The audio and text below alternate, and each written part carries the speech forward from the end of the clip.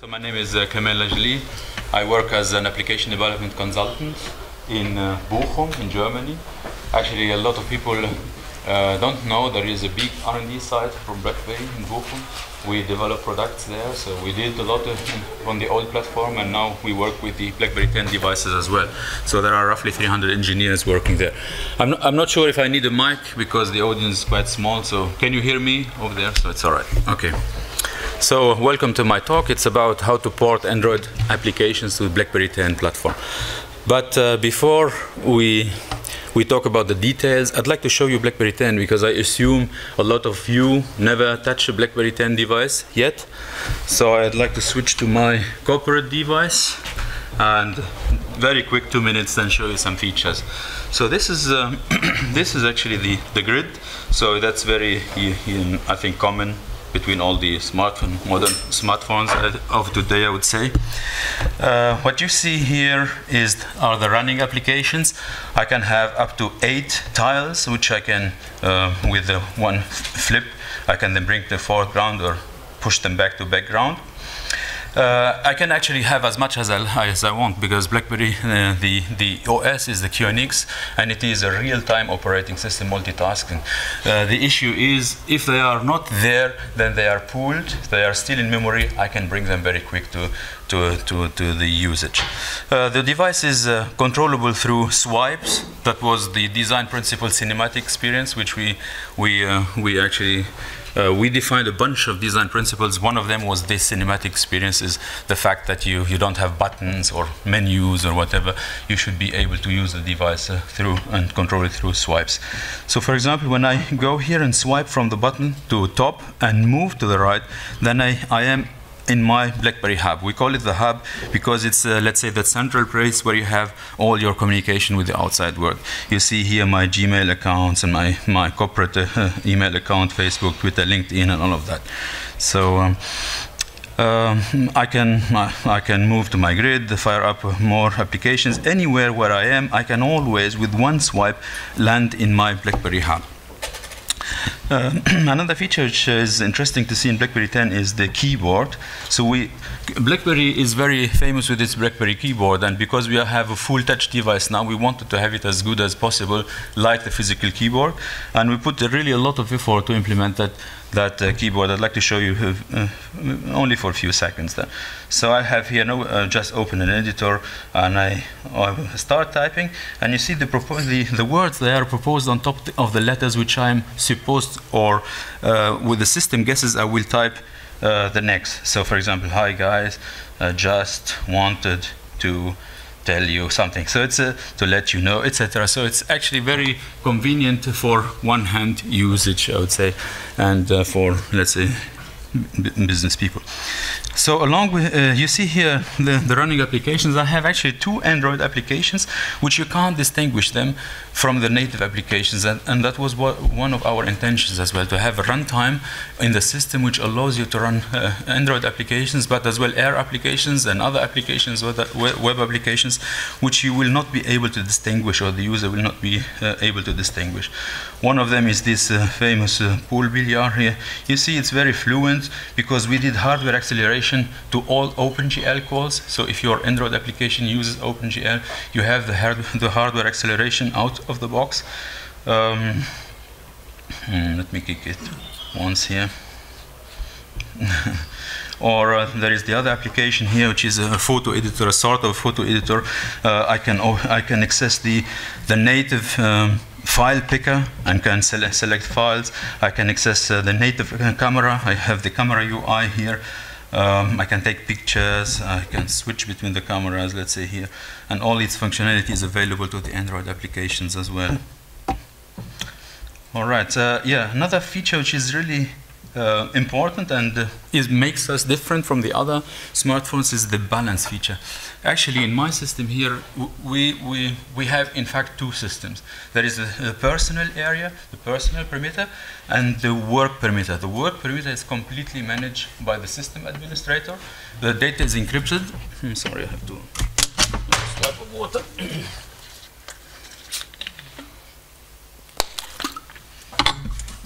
So uh, switching between personal and work permit is very easy, should be as I said, cinematic experience only uh, through a swipe.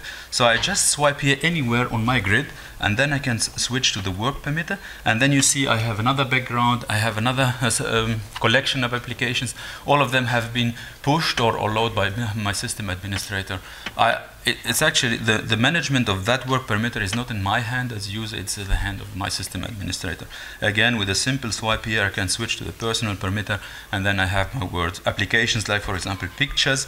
Here in the personal perimeter, I have my private pictures, and if I switch to the work perimeter, and start the same application, I will only see pictures which are in the work perimeter, and they are completely uh, separated, both perimeters.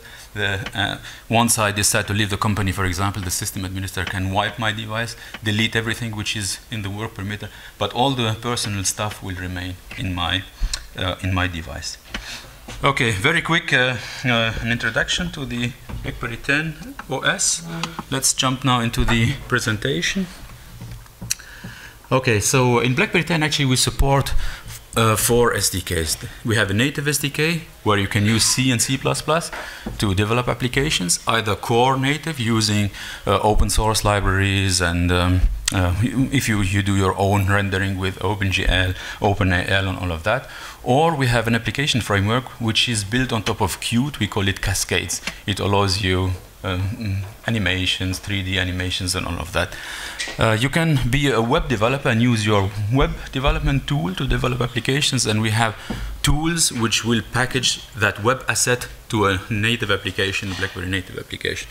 You can do uh, AIR development or Flash development, and of course uh, we are at the DroidCon. Then we support Android. We support an, uh, Android applications. So we have an Android runtime. What is it? So it's actually a port of Gingerbread 2.3.3. Uh, uh, when we started the project, that was actually the truly open source um, um, uh, Android platform at that, at that, at that time, and we stick to it.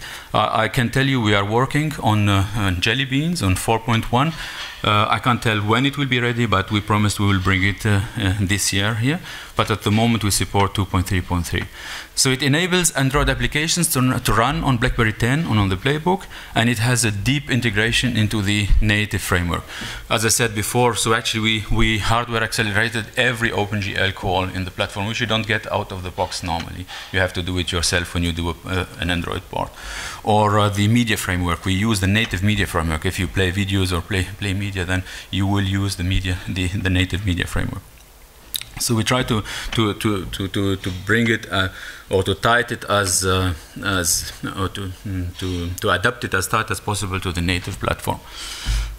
Um, to, uh, for, for the sake to make the Android application look as native as possible as well.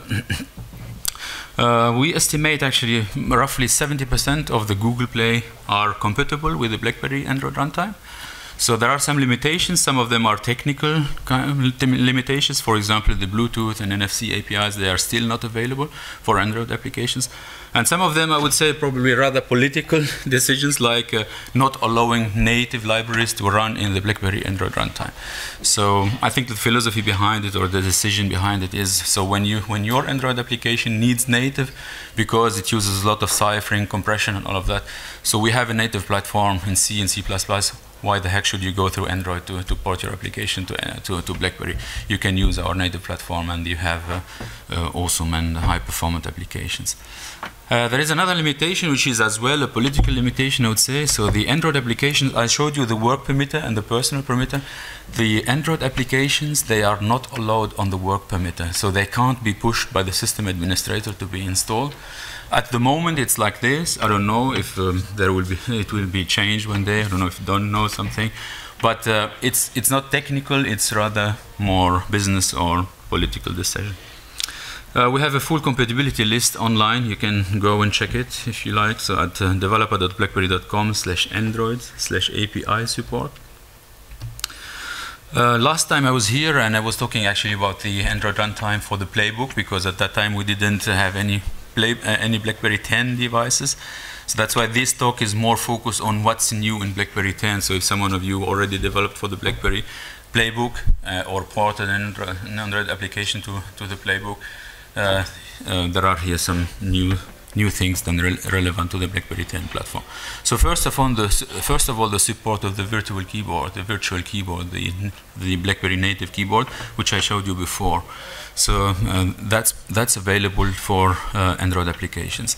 Then we implemented support for the notifications. You, you, have seen the hub before. I said that's the central location where you have all the communication, but notifications as well land in that uh, in that hub if, uh, for example, there is an update of your application, there is new version of, or you have a, a, reminder of your calendar, or you have a clock alarm or whatever. And Android application will put their notifications in that hub as well, and you will see a red star on the icon of your application. So that's as well for the sake of having Android applications as looking as native as possible. Then uh, the multimedia content created by Android applications at the playbook time, it was actually available for Android applications. There was no mix-up, but now everything which is uh, created on, in, uh, by Android applications is available as well for the other native applications. Then, uh, then we we added a, a bunch of um, uh, intent support, new intent support. Uh, we have actually in the native platform a very complete share framework. You can share your created data uh, using the share framework via Bluetooth, NFC, uh, email, SMS, and all of that. And we are working to, to bring the whole sh uh, share framework to, to the Android as well. But at the moment, you can share your content or your application uh, through email or SMS with others at the moment only. You can uh, create calendar appointments using the calendar, the native calendar applications, and the, you can add informations to contacts like phone number or email. You can create uh, um, a, a, new contacts. You can um, you can uh, invoke a contact, a contact picker to let the user select a contact out of the list. Um, if you have links in your data, in your content, in your Android content, you can, uh, and you click, and the user clicks on the link, the native browser will be fired and not the Android browser. And we have a dialer support, so if you have implemented the um, a fun functionality like when you have a phone number, you click on it and your call is created, that's supported as well. And we have a file picker then to, if you need to, to process some files like the, the, the application which I showed, uh, to, uh, which opens images and processes them. then we extended the API support for, for, camera, so you can access the camera and use its functionality from within your Android application. Uh, flash as well, and autofocus. Autofocus, I think, very relevant to applications like, for example, barcode scanning and all of that. Uh, we support in-app payments, so if you are selling digital goods in your Android applications, that's supported when you bring your applications to BlackBerry and push as well. And uh, we extended the sensor support to ambient light sensor and proximity sensor. Of course, GPS and uh, accelerometer, etc. It was already supported in the playbook then. It's available there. Telephony API, we are working on that still, so uh, it's not complete yet, but uh, things like uh, uh, to which network am I camped on, to which carrier that's available, then you can get it. For uh, the, uh, the other BlackBerry 10 devices, the ones with the physical keyboard, the first product is Q10. We extended the support as well, so that we have the um, the the new we support the new resolutions, uh, 720 by 720, and we we support the the physical keyboard and related shortcuts to that physical keyboard as well. Um, okay, there. Um, there is an issue with maps because we said, okay, we don't support, um, generally we don't support any Google APIs as they are. So there is no Google Maps APIs which you can use in your Android applications. We, we recommend to, to, to change your code in a way that you, you have a web view and in that web view you can display a map you are not you are not tied to the to Google Maps. You can use Bing or OpenStreetMap, uh, as far as I know. Whatever it is uh, available through a web uh, through a web view. How would you do it? That's just an example here. You would create a web view object here. You would allow JavaScript on that, and then uh, using load URL, you would you would uh, invoke a drawing of the map at the locations you'd like to have. And I think you can as well overlay the map and bring some um, um, graphic objects on it. Um, in-app payment, probably a couple of uh, more uh, details about the in-app payment. So um, if you are, as I said, if you are using, if you are selling digital goods in your Android applications, you can still do the same when your application is ported. You can uh, continue using the same item IDs. We, call, we call them in BlackBerry SKUs. You have to, de to define them in the vendor portal. Uh, a couple of uh, things to remember. For example, here you can't have um, parallel purchase operations ongoing. We don't uh, support refunding through APIs. If someone orders something and I don't know, change his mind and like to get the money back, it's not supported through APIs, but of course it's supported through the uh, front uh, storefront uh, management.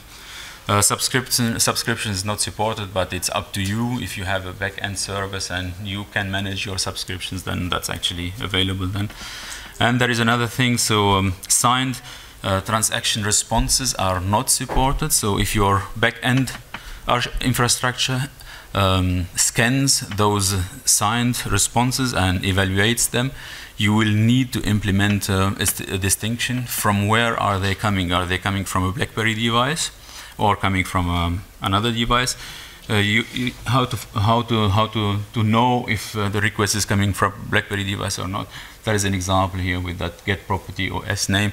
QNX is our operating system on which BlackBerry 10 is built. Push. Um, uh, we, we mapped or we adapted, let's say, um, cloud to device messaging to our own push service. However, you have to register at BlackBerry for using the push service. Uh, when you register your signing keys, you can't get applications running on a hardware without getting signed, BlackBerry signed. And when you register for push, your signing keys will get the capability to use push at all. So you have to do that step. Uh, then you have to create a configuration file and add it to your bar file. Applications in BlackBerry 10 are zipped in an archive, which we call it BlackBerry archive bar file. It's actually a zip file. You have to, to, to create a config file, CFG file, and put your uh, your ID, which you get when you register for push, in that file, and then zip it with the rest of uh, the assets. And then um, there is a slight modification you need to do into in your manifest file. Uh, we have on the web page actually instructions how to do it. And the last thing, uh, because because you are sending a push notification to an Android application, and the Android infra push infrastructure, I think uh, it um, it lets you define your push content in a JSON object. You have a key and a value. In BlackBerry, we don't actually we don't um, we don't have any uh, um, any restrictions on the content. So you can have um, um, binary data or whatever data. But because it's an Android application, you have to, to change the, the push data you are sending uh, in a way that it is presented in a JSON object. Of course, in your push uh, in your infrastructure, you have to divert the, the push then to the BlackBerry push server then, and not to the Google push server anymore. Okay, basic development. So uh, we have actually how to convert your application. There are several ways. I would say there are three ways. The first one is the online conversion tool. I will show you that live now. Then there is the Eclipse plugin. We have a BlackBerry Eclipse plugin for the ADT. I will show you that as well that's actually the most convenient way to do it for developers because you have the possibility to debug, to set breakpoints, and to to to, to test yeah, to um, to um, optimize your application. And uh, of course, uh, we, um, if you are, let's say, if you have a bunch of, of applications, I don't know, you are an, an agency creating a lot of Android applications, you would like to do them with uh, to do the conversion with batch tools. We support that as well. We have command line tools and um, um, for conversion and for deploying to devices then. And you, if you don't have a hardware to test with, uh, the simulator uh, is a, great help. And it's not an emulator, it's really a simulator because the OS is running in VMware. I will show you that as well. Okay, code signing, I said it before, so you can't have a, a program running on a hardware without being signed unless you have a debug token installed on your hardware so that you can develop even if you are offline, then that's actually an evaluation, uh, evolution from the old platform. The, the, old BlackBerry platform, it wasn't possible to sign applications if you weren't online.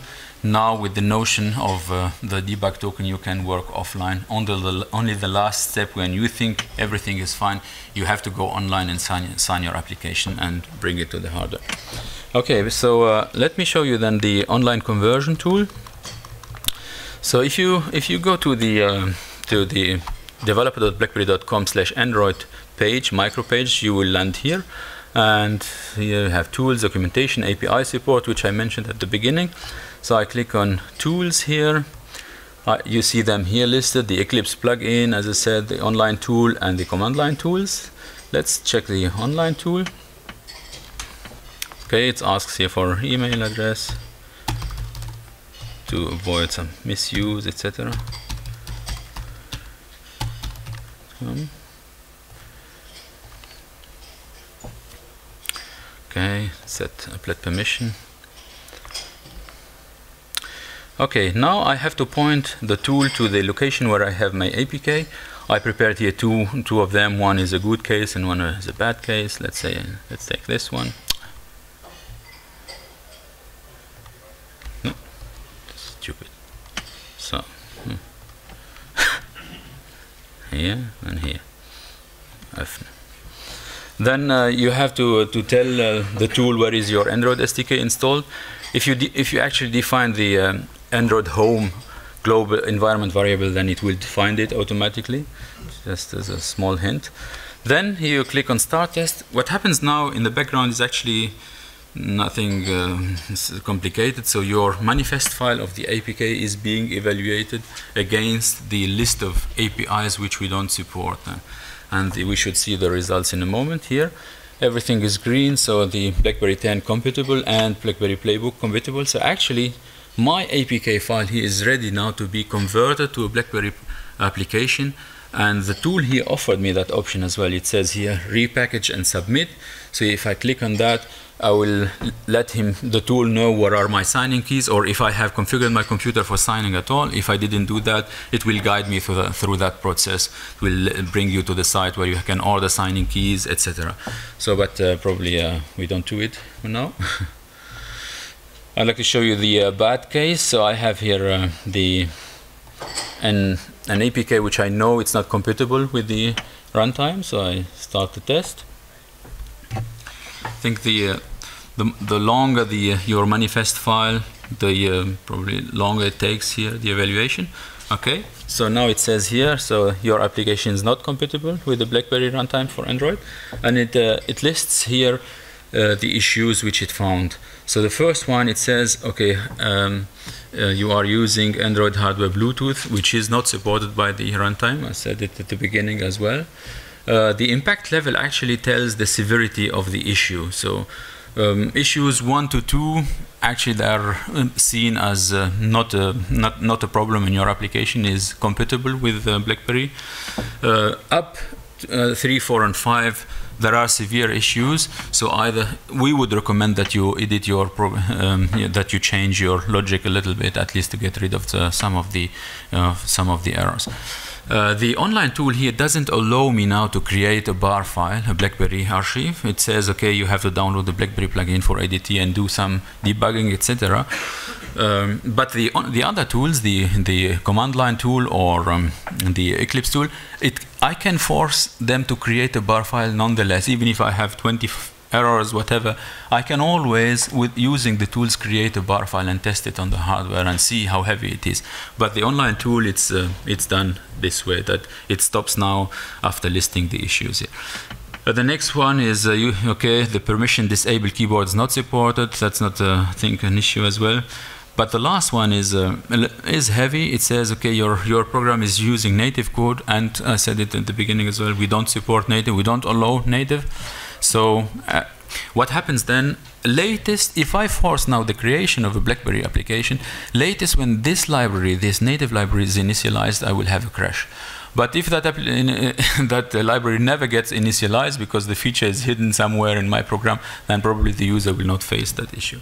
But um, anyway, five is very uh, severe. That's the